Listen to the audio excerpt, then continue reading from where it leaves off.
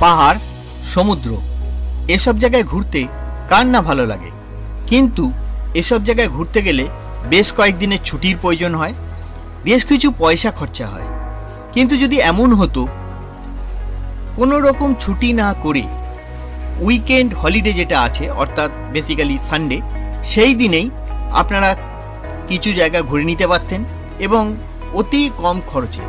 তাহলে কেমন হয়? সেরকমই একটা জায়গা হচ্ছে চুচুড়া। আমি রিসেন্টলি চুচুড়া গেছিলাম। তার একটা ভিডিও করে এনেছি। সেই ভিডিও আজ নিয়ে আজকে আপনাদের সামনে এসেছি।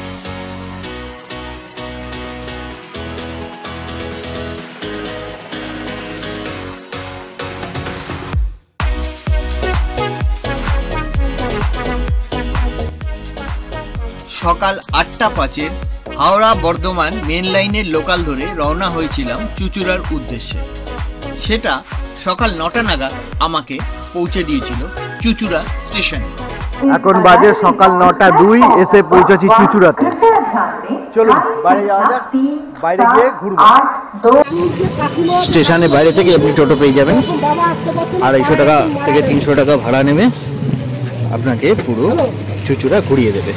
তো স্টেশন থেকে এখন আমি প্রথম যাচ্ছি ডাচ সিমেট্রি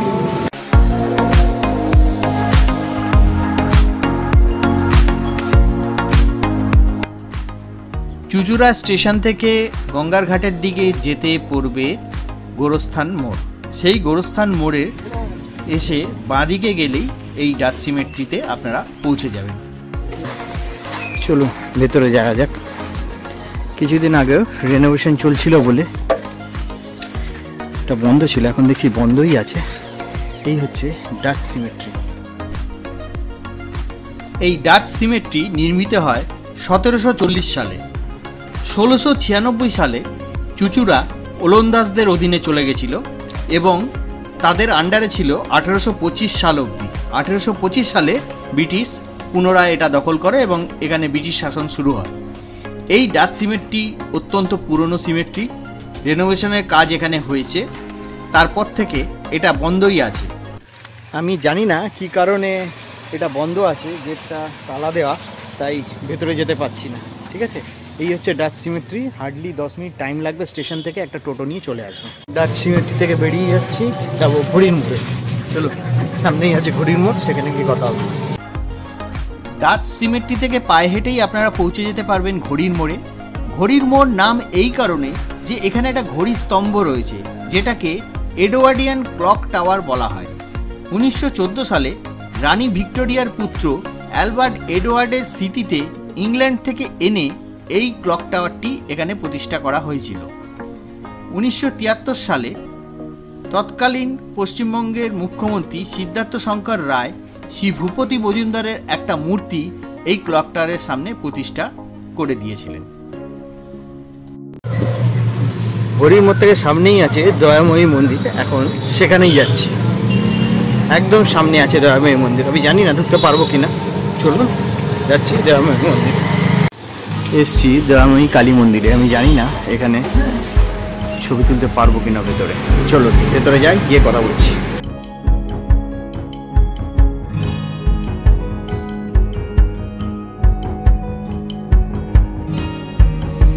চুচুড়া শহরে খড়বাজার অঞ্চলে নেতাজি সুভাষ রোডের পাশে দয়াময়ী কালী মন্দিরটি অবস্থিত। মুঘল সম্রাট আকবরের রাজস্ব সচিব টোডরমল জিতেন রায় নামক এক ব্যক্তিকে চুচুড়া অঞ্চলে জায়গিরদার হিসেবে নিযুক্ত করেছিলেন।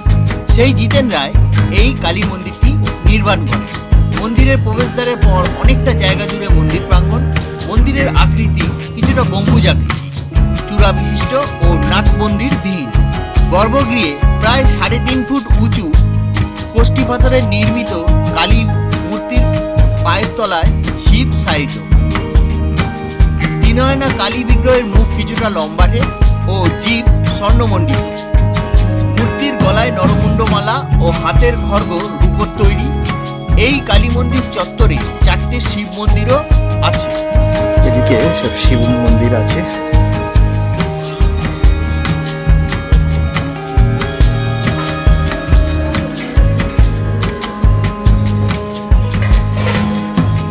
সব শিব মন্দির আছে।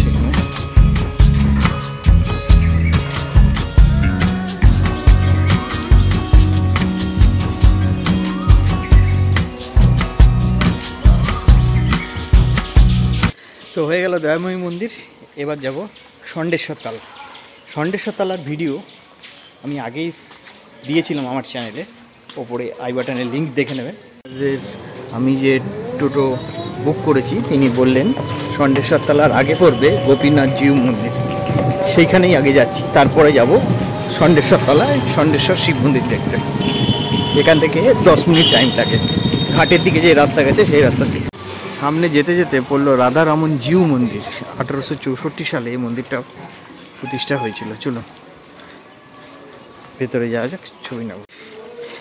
এই হচ্ছে রাধারমন জিউ মন্দির। এখানে জগন্নাথ দেব আছে, রাধাকৃষ্ণ আছে গৌরমিতাই আছে। এই হচ্ছে গোপীনাথ জিউ মন্দির। চুচুড়ার কনকশালীতে অবস্থিত এই মন্দিরে পূজিত হন লক্ষ্মী জনার্দন, গৌরীনাথ, শিব ও গোপীনাথ। এই মন্দিরের প্রতিষ্ঠা সম্বন্ধে বিশেষ কিছু জানা যায় না, তবে জানা যায় যে এই মন্দিরটি খুবই প্রাচীন। এই মন্দিরের প্রতিষ্ঠা সম্বন্ধে কিছু জানা না গেলেও প্রতিষ্ঠা ফলক অনুযায়ী জানা যায়, এই মন্দির প্রতিষ্ঠা করেন ভাগবত সরকার এগারোশো নব্বই বঙ্গাব্দে।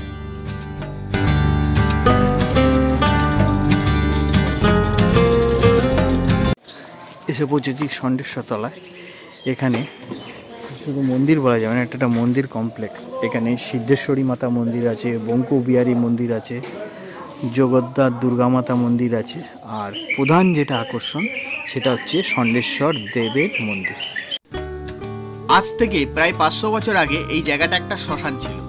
এখানে বসবাস করত জনৈক দিগম্বর হালদার নামে এক ব্রাহ্মণ। স্বপ্নাদেশ পেয়ে তিনি একজন জেলে নীলমণি তেওর নামে তার সাহায্যে জাল ফেলে ভাগীরথী নদী থেকে উদ্ধার করেন একটি শিবলিঙ্গ, সাতটি শিলা ও একটি ত্রিশূল। এছাড়াও উদ্ধার করেন পূজা পদ্ধতি লেখা একটি তামার পাত।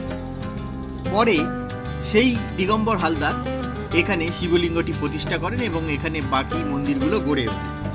অনেক পরে উনিশশো উনআশি সাল নাগাদ জনসাধারণের অর্থের সাহায্যে এই মন্দিরটি প্রতিষ্ঠা করা হয়। শোনা যায়, মহানায়ক উত্তম কুমার এই মন্দিরে তৈরির সময় অর্থ সাহায্য করেছিল। বর্তমানে আমরা সেই রেনোভেশন রূপ দেখছি, যেটা নাইনটিন সেভেন্টি নাইনে মন্দিরটা তৈরি করা হয়েছিল।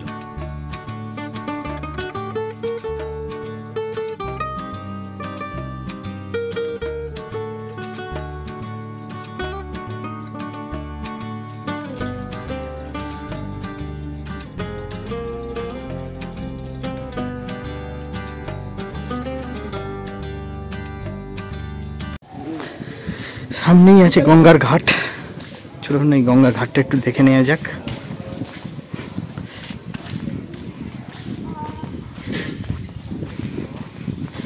ঘাটে মহিলারা স্নান করছে, ওদিকে তাই যাওয়া যাবে না, ছবি তোলা যাবে না। পার্কে এখানে একটা ছোট পার্ক মতো করা আছে, সেখানে ঢোকা যাবে। চলুন, ঢোকা যাক।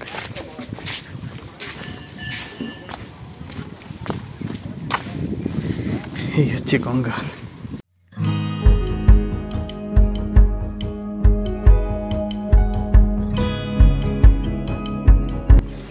এসে পৌঁছেছি করুণাময়ী মন্দির বারোশো চোদ্দ বঙ্গাব্দ আঠেরোশো আট খ্রিস্টাব্দে। এটা মন্দিরটা হয়েছিল। এখন আমি জানি না ভেতরে ঢুকতে পারব কিনা।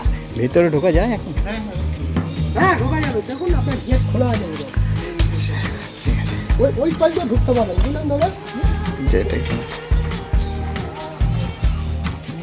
ঢুকলেই হলো? দয়াময়ী মন্দিরের মতো চুচুড়ার আরেকটা সুপ্রাচীন মন্দির হচ্ছে এই করুণাময়ী মাতার মন্দির। আঠেরোশো আট সালে এই মন্দিরটি তৈরি করা হয়। শোনা যায়, দাইহাট থেকে আনা ভাস্কর্য দিয়ে তৈরি হয় কোষ্ঠী পাথরের মায়ের মূর্তি। এই মন্দিরটি আঠেরোশো আট খ্রিস্টাব্দে মহেশচন্দ্র সোম শ্যামবাবু ঘাটের তার নিজের বসত বাটির সামনে প্রতিষ্ঠা করেছিল হয়ে গেল করুণাময়ী মন্দির। এবার চলুন, আগের ডেস্টিনেশন যাওয়া যাক। এখন যাচ্ছি সুসানা আন্না মারিয়ার সমাধিতে। চলুন, যেতে যেতে কথা হবে আপনার।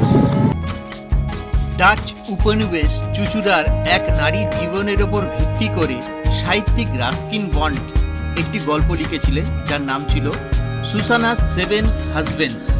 সেই কাহিনী অবলম্বন করে দু হাজার এগারো সালে বিশাল ভারদ্বাজ সাত খুন মাপ নামে একটি ছবি তৈরি করেন যার জীবন থেকে যে এই ছবিটা তৈরি হয়েছিল, সেই ওলন্দাজ মহিলার নাম ছিল সুসানা আন্না মারিয়া। চুচুড়ার খাদিনা মোড় ও তালডাঙ্গার মাঝে জিটি রোডের পাশে আজও রয়েছে তার সমাধি। শোনা যায়, সুসনার সাতজন স্বামী ছিলেন। তাই সাত সাহেবের বিবি নামে সুসনার পরিচিতি ছিল। যদিও তার কোনো প্রমাণ বা নথি পাওয়া যায় না। জানা যায়, সম্ভ্রান্ত সুসনা যেমন সুন্দরী ছিলেন, তেমনই ছিলেন ব্যক্তিত্বময়ী। তার শেষ ইচ্ছা অনুযায়ী আয়েসবাগে তাকে সমাহিত করা হয়। আঠেরোশো নয় খ্রিস্টাব্দে তার সমাধির ওপর তৈরি হয় স্মৃতিসৌধ, যা সাত সাহেবের বিবির কবর বলে পরিচিত। তো এখানেই আজকে আমার ভিডিওটা আমি শেষ করছি। কেমন লাগল বলবেন? ভালো লাগলে লাইক শেয়ার আমার চ্যানেলে নতুন হলে সাবস্ক্রাইব সাবস্ক্রাইব করার সময় বেল আইকনটা অন করে দেবেন, তাতে যখনই আমি একটা নতুন ভিডিও দেবো, তার ইনস্ট্যান্ট নোটিফিকেশান আপনার কাছে। আজ এই অবধি, পরে আবার দেখা হবে।